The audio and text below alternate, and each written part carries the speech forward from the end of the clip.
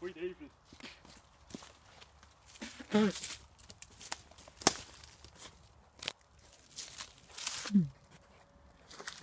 Wie man sowas nicht machen sollte.